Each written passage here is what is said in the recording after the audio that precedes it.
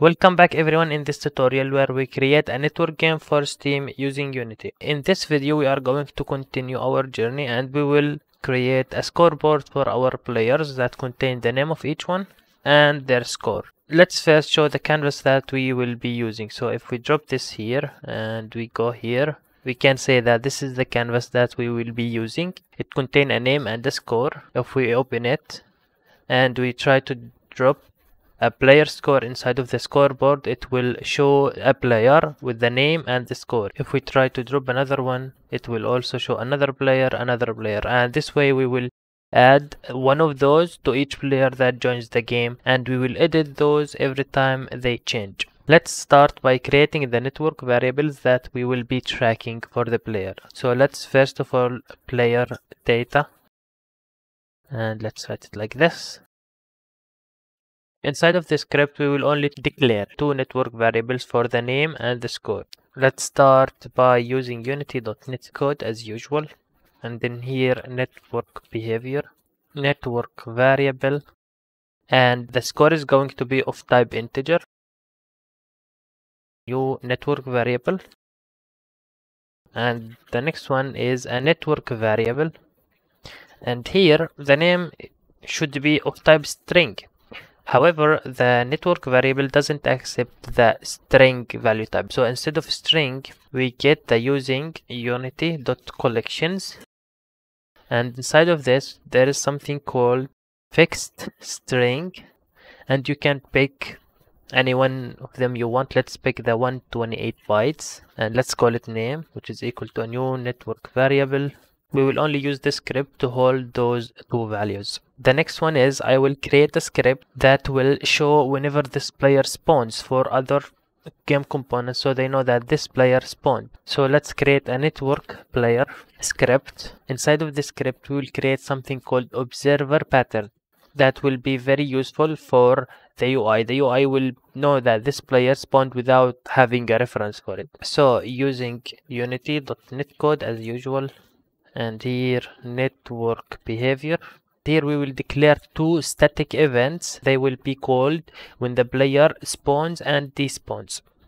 So public static event action. And the action will be from system.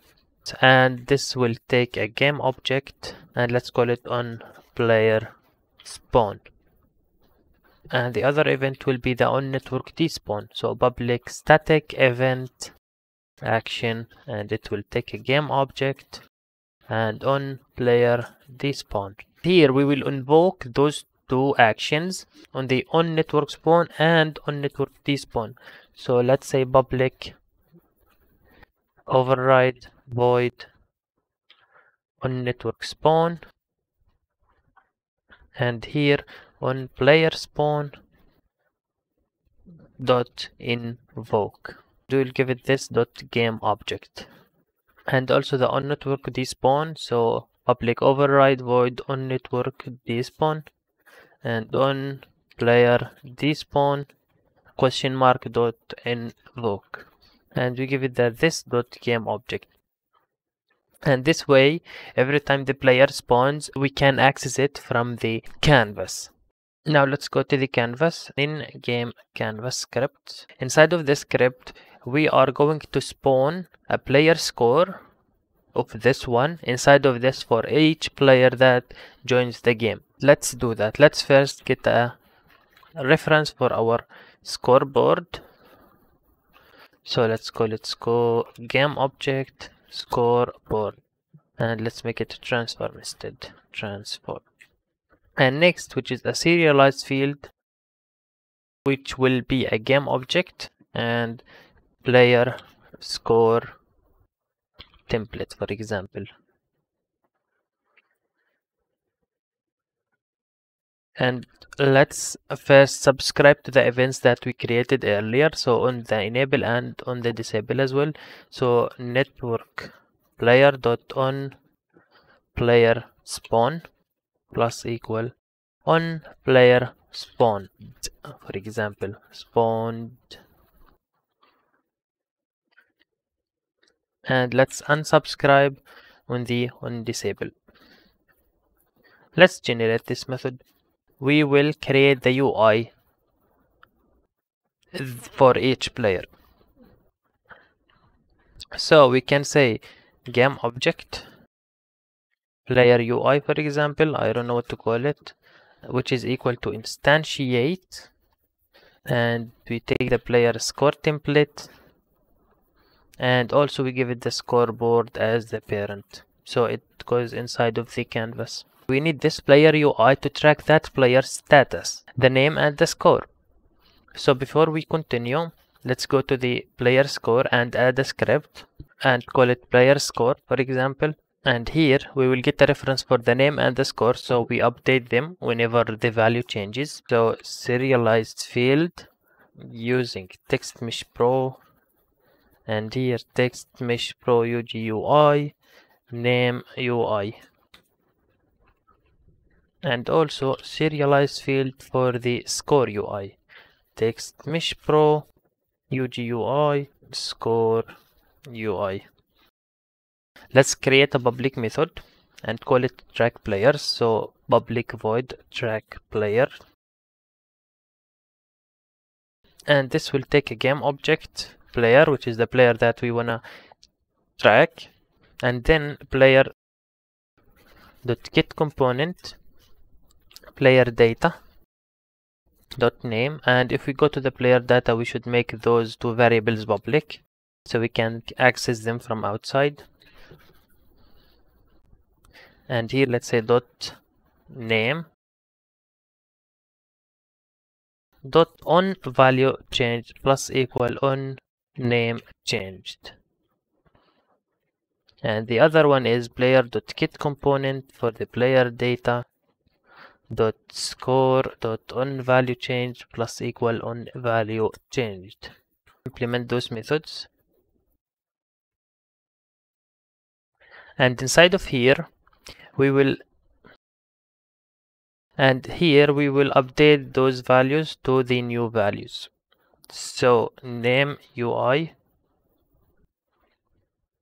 here instead it should be score. Score. So here score UI dot text which is equal to the new value dot string. And here as well so name UI dot text which is equal to the new value dot to string one more thing I want to do which is I need to initialize those values because at the beginning those values has a default value and those didn't update yet. So we need to give those the initial values of the name and score. So we can just call those two methods quickly. So on score change and the first one doesn't matter. We can just give it a zero. And we need the value to be the score dot value. Dot value. And we also need to call this one. So on name change and we first give it an empty string doesn't matter. And the second one should be the name dot value. Dot value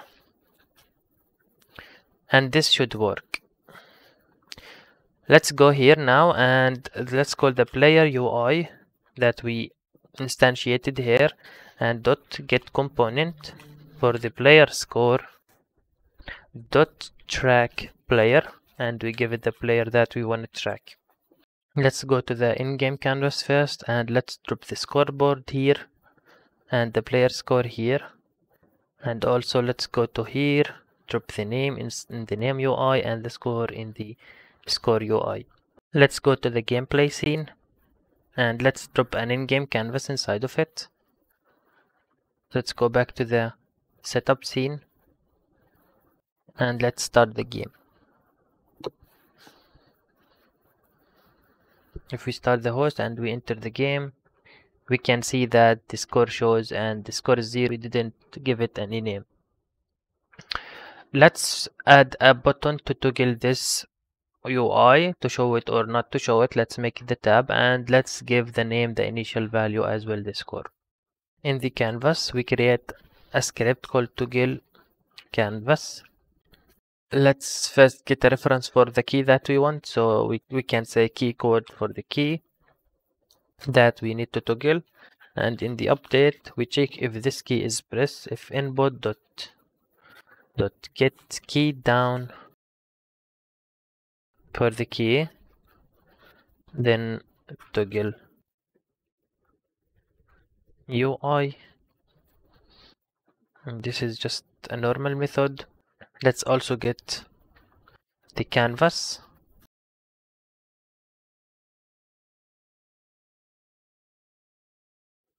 And the canvas is equal to the get component of the canvas we just need to toggle the enabled of this component. So canvas dot enabled which is equal to not canvas dot enabled now where do we get the name from? We can add an input field to insert the name but in my situation i will read the name from steam itself. So let's do that. If we go to the player data here i will first implement the on network spawn method here. So public override void on network spawn and I will send a client RPC to the client who is owning this game object.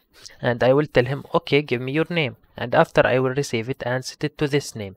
So let's do that. So if we are not the server then we return. And first let's set the score to zero. So score dot value which is equal to zero. And also we need to set the name we can first call a client RPC and we can do that by get name client RPC we do this and here we say a client RPC get name client RPC it is going to be public void and client RPC params client RPC params which is equal to default. Here it's going to be like this. So new client RPC params. And here we will have a send which is equal to a new client RPC send params. And we write the target client IDs which is equal to a new ulong array of ulong and we give it here the values that we want to send it to the player.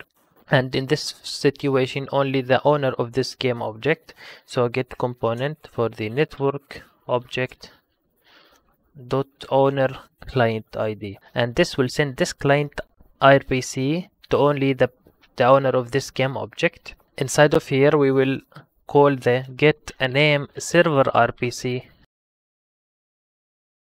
that is going to be a server RPC and get get name server RPC again public void. And here what we will return is a string which is the name of this player which is going to be steam client. Let's first use steamworks. Using steamworks and here steam client dot name and here let's take a string name. And we need to set this value inside of here. So we say name this dot name dot dot value equal to the name. And that's actually it. This should get this name and the score. Let's give it a quick try. And we enter the game our name is Cuebat and the score is 0 and we forgot to do one thing which is the toggling here. Let's set it to tab and let's see. And here we go. We can toggle this UI one thing left which is increasing the score whenever you hit someone with your bullet. Let's go to the player script. And in this method where we decrease the health for whoever got hitted now we need to also increase the score of the owner of this collider by 100 for example. So we get first the collider dot get component for the network object dot owner client id so this is the id of the person who is owning this game object. Now we need to get his player object. So we say network manager dot singleton dot connected clients. And we do this. And here we got the player. Now let's do dot player object. We got his player game object. And we get the get component for the player data. Dot score dot value which is plus equal 100 and this should increase the score value by 100 every time you hit someone. Let's give the canvas the key which is the tab. Now now let's start and as we can see we have Cuebat and the other person who is Yusuf. Let's try to hit the other player with the bullet. His health decreased twice so his score should be 200 let's for example hit him more. So I am Cuebat I am getting more score. Let's try to hit from the other side. Let's check. And yeah here we go. Awesome